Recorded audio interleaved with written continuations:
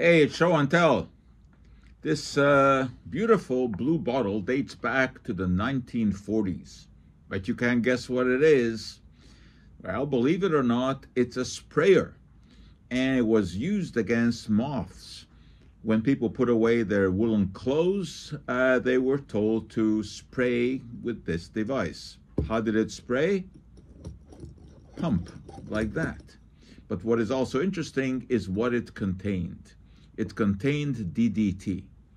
Well, DDT had been synthesized back in the 19th century, but it was in 1939 that Paul Muller, a Swiss uh, scientist, discovered its insecticidal properties.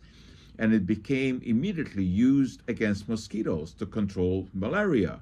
It could also control typhus. Uh, both of these diseases were, were horrific uh, in the 1940s and the 1950s, and DDT went a long way to, to suppress them.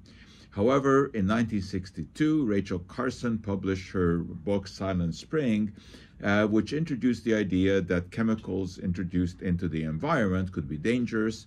Uh, DDT was toxic to uh, birds. They didn't lay eggs uh, that hatched properly. This was a huge problem for the peregrine falcon and for the bald eagle.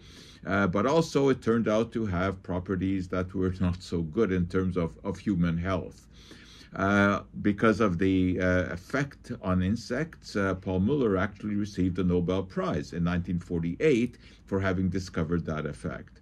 But uh, after Rachel Carson publicized the uh, detrimental properties of some environmental chemicals, DDT was banned in agriculture. And it is still sometimes used in areas of the world where malaria is endemic when nothing else works. And when it is used in um, those uh, environments, uh, it is used in much smaller doses than in agriculture. So DDT was very popular uh, back in the 1940s and 1950s. Here's another version of a DDT uh, sprayer. Uh, today, of course, uh, we have other insecticides, and DDT has uh, sort of gone into the background, uh, but uh, it has a very interesting uh, history of use, and I'm always reminded of that by looking at this fascinating sprayer that was sold to people for household use back in the 1940s. And that for today is our show and tell.